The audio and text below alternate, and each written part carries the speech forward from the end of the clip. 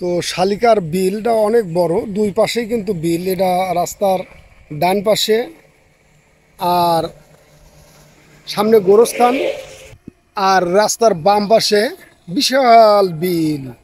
এটা কিন্তু অনেক জায়গা বিস্তার করছে। যে ধান লাগানো আমরা দেখাবো আপনাদের, সেটা কিন্তু এখান থেকে দেখাবো। এখানে ধান লাগাচ্ছে, কীভাবে সেগুলো আপনাদের দেখানো হবে। এই ঝোপের পাশেও কিন্তু বিল রয়ে গেছে। তো আমরা নিচে যায় আপনাদের দেখাবো এরা কীভাবে ধান রোপণ করছে। তো ভাই এখানে তো অনেক পাট দেখেছিলাম সেই পাট কাটা হয়ে গেছে। হ্যাঁ। আসলে কি এই পাট কাটার পরেই এই ধানের চারা এখানে রোপণ করেছিল? হ্যাঁ হ্যাঁ পাট কাটার পরে এ কয়দিন লাগে এই ধানের চারাগুলো হতে? এই পঁচিশ ছাব্বিশ দিন পঁচিশ ছাব্বিশ দিন বা এক মাসের এক মাসের মধ্যেই হয়ে যায়। হ্যাঁ। মানে এটা বাড়িতে আগে কি করতে হয়? এটা বাড়িতে আগে বেসন এনে ভিজাইতে হয়। ও অর্থাৎ ধান ভিজায় রাখতে হয় নাকি? হ্যাঁ, ভিজে চব্বিশ ঘণ্টা ভিজে রাখা লাগে। চব্বিশ ঘণ্টার মধ্যেই ট্যাগ গজায় যায়। না তে? ওটা তুলে আবার ওই টেকা বের দেওয়া লাগে এক বাসনের মধ্যে রেখে। আচ্ছা আচ্ছা পাত্রে উঠায় থোয়া লাগে ভিজে থোয়া লাগে না? ভিজেই তো উঠায় থোয়া লাগে। ও মানে ভিজে শুকনা জায়গায় থয় নাকি? না না না? এই শুকনা জায়গায় ঢাকির ভিতর কিংবা বস্তার মধ্যে। ও ঢাকি অথবা বস্তার মধ্যে রেখে দেওয়া হয়। দিয়ে হ্যাঁ। সালামালা দিয়ে গরম চাপ দেওয়া লাগে খের দিয়ে বুঝছেন? দিলি পরে দুই তিন দিনের মধ্যে গাছ বাড়া যায়। ও সেইগুলো আবার এখানে এনে এইগুলো ছিটিয়ে দিছে না? হ্যাঁ এইগুলা সিটে ফালানো ও। মানে এই জায়গা প্রসেস করে নিয়ে তারপরে ছিটিয়ে দিছে আর সেগুলোই এইভাবে হয়ে গেছে। এর পরের কাজ হচ্ছে কাজ হতে ওই যে তুলে লাগাচ্ছে সব। হ্যাঁ এগুলো তুলতেছে এখানে আর যে সমস্ত জায়গায় দেখলাম এই নাঙ্গল দিচ্ছে। আহ, এইসব জায়গায় তো রোপণ করতেছে এখান থেকে তুলে নিয়ে যায়। হ্যাঁ? তুলতে যাও সারা তুলতে যাও কও যে সারা তুলতেছে আমরা লাগাচ্ছি খাতে। এই এই কা- আমার ও এখান থেকে তুলে তোমার কি ডবল খাটনি নাকি? হ্যাঁ। ও তুলা এবং লাগানো। হ্যাঁ এখান থেকে উঠে আবার লাগাইতে হবে। আচ্ছা আচ্ছা মজুরি কত প্রতিদিনের? ছয়শো থেকে সাতশো টাকা পর্যন্ত। ও আচ্ছা আচ্ছা। দুইটা কাজ করলে মানে একসাথে দুটো কাজই তো তোমাদের করতে হয়। হ্যাঁ। আর ছয় থেকে সাতশো টাকা প্রতিদিনের দিন হাজিরা নাকি? লেবুর আচ্ছা। ওটা কিরা লেবু? হ্যাঁ লেবু। ও ফাইন ফাইন ফাইন এটা লেবু না? হ্যাঁ লেবু। আচ্ছা আচ্ছা তাহলে তোমরা কয়জন আইছাও এই হেনে এরা আছে চারজন।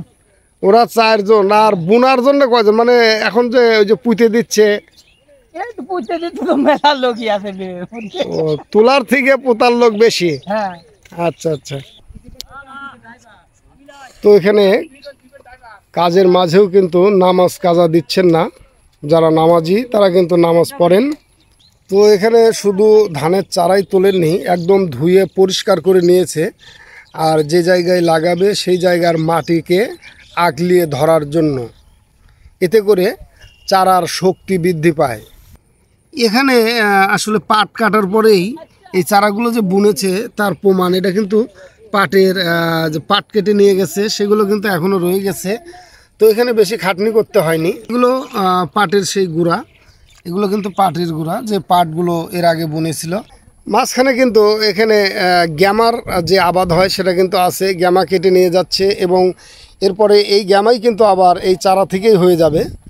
তো এক সাইড থেকে কেটে নিয়ে যায়, আর এক সাইড থেকে হয়। তো এই মাঠটা কিন্তু খুব সুন্দর।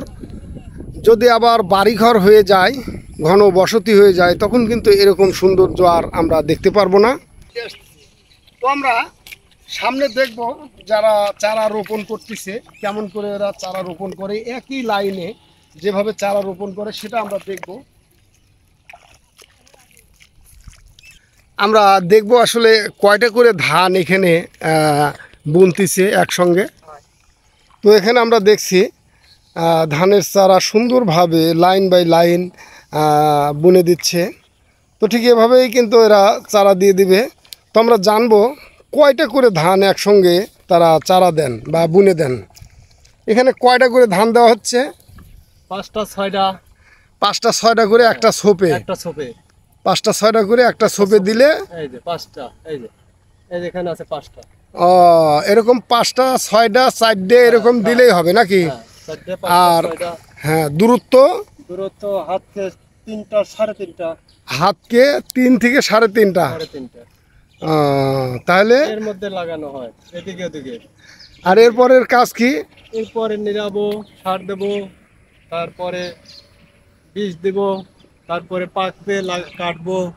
ও এখানে তাতে এখনও অনেক কাজ বাকি? হ্যাঁ চার মাসের কাজ বাকি এখন। চার মাসের কাজ। প্রতি মাসেই মোটামুটি লুচাইনে কয় আর কি? লুসার থেকে লুসানের থেকে শুরু করে বীজ বারবার দিতে হবে।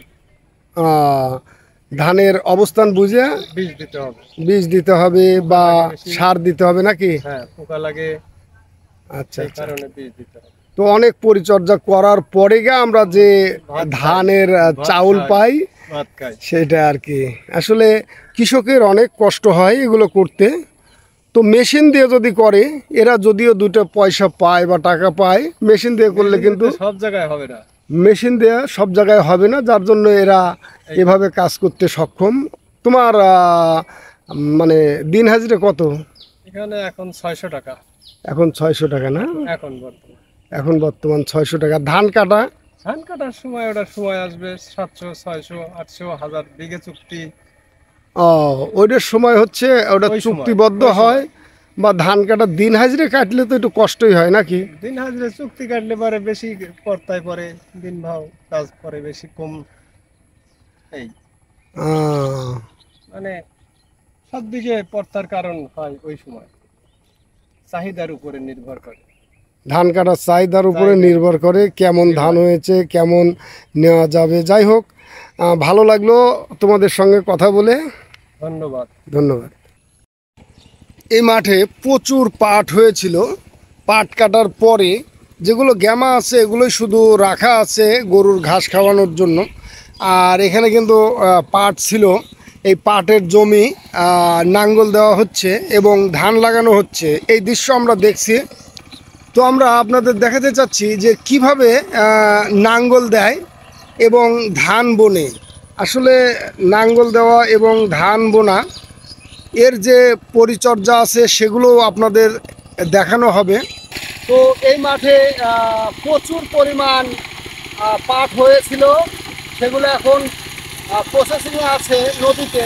তো এখন কিন্তু নাঙ্গল দেওয়া হচ্ছে এবং এই ধান বোনার কাজ চলতেছে। আমরা এগুলো দেখছি। আর কীভাবে ধান বড় হয়, কীভাবে পরিচর্যা করে, এগুলো আপনাদের দেখানো হবে।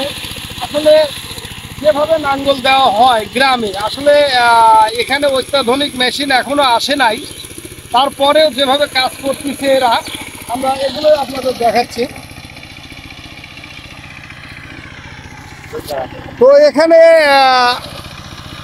পাখিও কিন্তু খাবার খাচ্ছে এবং নাঙ্গল দেওয়া হচ্ছে। এখানে অনেক পোকামাকড় যেগুলো আছে, সেগুলো কিন্তু পাখি খাচ্ছেন।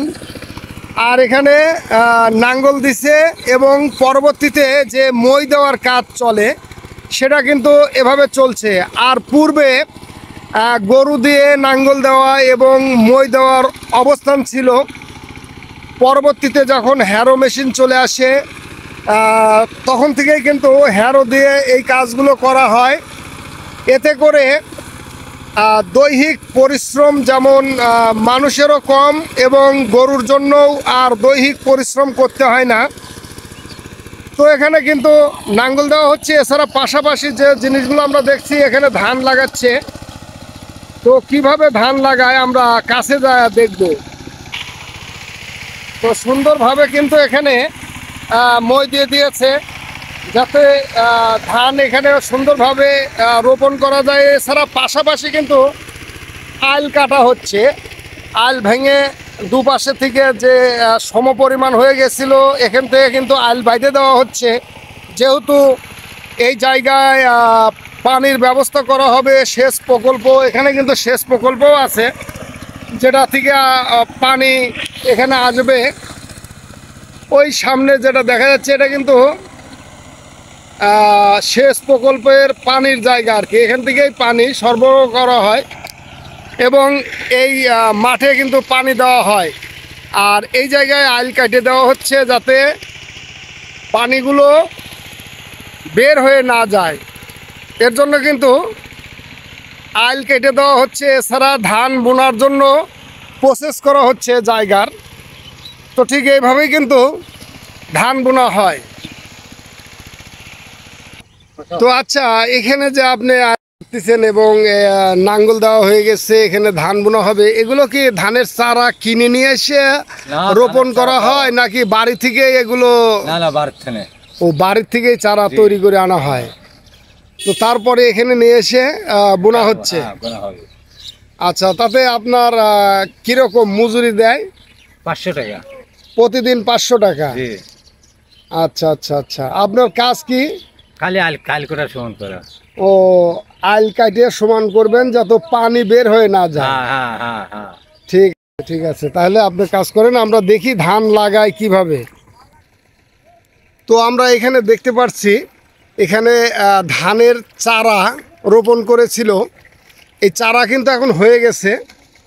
তো এই ধানের চারা কিন্তু এখান থেকে তুলেই আবার বোনা হচ্ছে।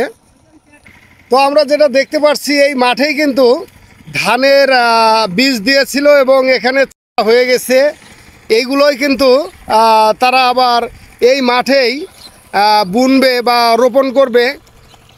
তো এখানে অল্প জায়গার মধ্যে অধিক চারা হয়ে গেছে, সুন্দর চারা হয়েছে এবং তারা এই চারাগুলোই ঘন চারা কিন্তু ছোট ছোট ছোপ করে বুনবে। আমরা শালকে বিলে আসছিলাম। এটা হচ্ছে শালিকা বিল। কি মধ্য শালিকা? শালিকা।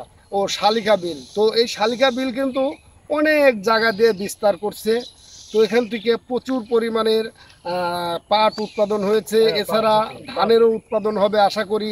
আর এরা যেভাবে পরিচর্যা করে আসলে দেখেই আমি অবাক হয়ে গেছি যে এরা এত সুন্দরভাবে কাজ করে। তো এইভাবে যদি সুন্দরভাবে কাজ করে তাহলে ফলনও বেশি হয়। তো আমরা এরপরে দেখব যখন ধান বড় হয় এবং ধান কাটে, তখন এরা কীভাবে কাজ করে? তো আজকের মতো এই পর্যন্তই। ধন্যবাদ সকলকে। ভালো থাকুন, সুস্থ থাকুন।